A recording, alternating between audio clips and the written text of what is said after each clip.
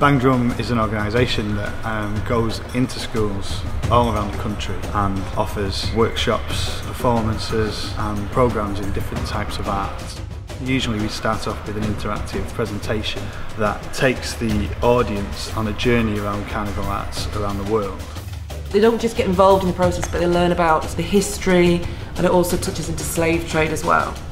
And then once that presentation day is finished, they then splinter into their own separate projects. So we will always have a group of drummers, which are our year eights this year. We've got a year seven group of dancers, and then we've got a year seven art group. They would go and work separately away, and that could be over a day or even over a year.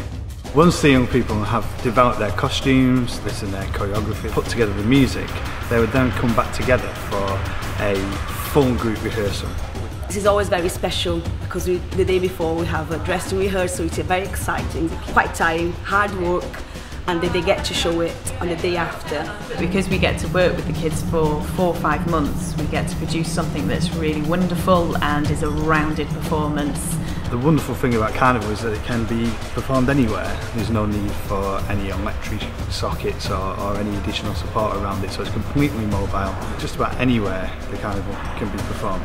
Not only are they learning about Carnival, they're also learning about what the practitioners bring to Carnival, but also learning about the skills and techniques that are used as part of the performance.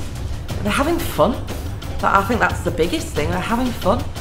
I think that it's um, been a good experience because um, we've learned about all these different cultures and carnivals that we, we never knew before and that it's just a whole new experience in a way.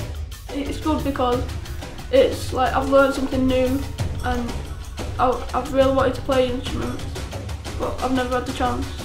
The thing I've enjoyed most is working with everyone like and doing different things. I wouldn't usually like think about doing stuff like this, but now I've tried it, I think it's really fun. I think I've got a lot more confident because um, I used to be shy and I don't want, I didn't really want to show anybody my talent, and I just want to continue dancing again.